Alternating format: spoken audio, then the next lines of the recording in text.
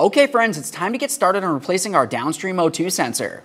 Now you'll notice that I'm underneath the car. The front of the car is in this direction and the rear of the car is back that way.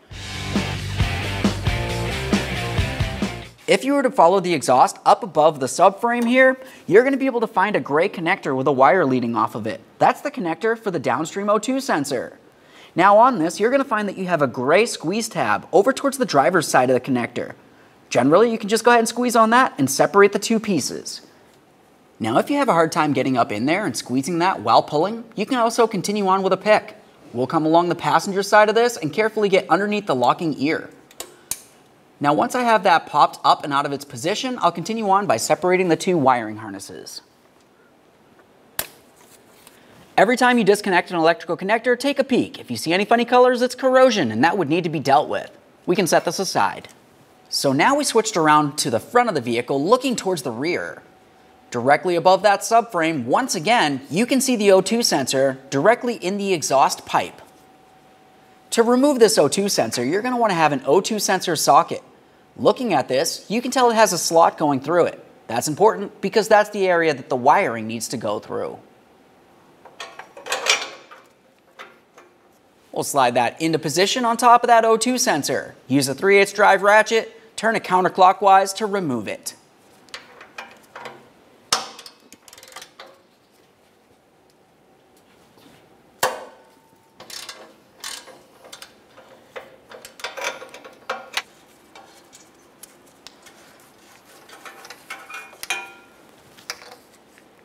There. Now with the O2 sensor out of there, continue on by inspecting the threads inside the hole. You want to make sure they don't look like they're rotted or damaged in any way. Assuming they look good, it's time to install our brand new downstream O2 sensor. Let's take that O2 sensor and turn it in clockwise by hand.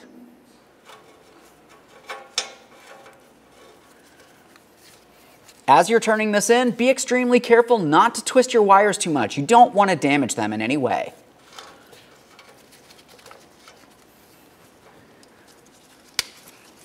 Once you have that as tight as you can by hand, continue on with your O2 sensor tool.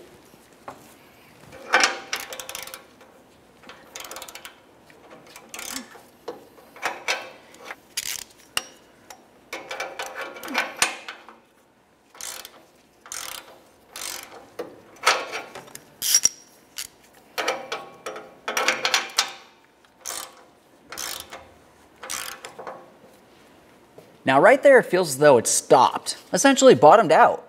We're just gonna take this a little further just to make sure it's completely seated.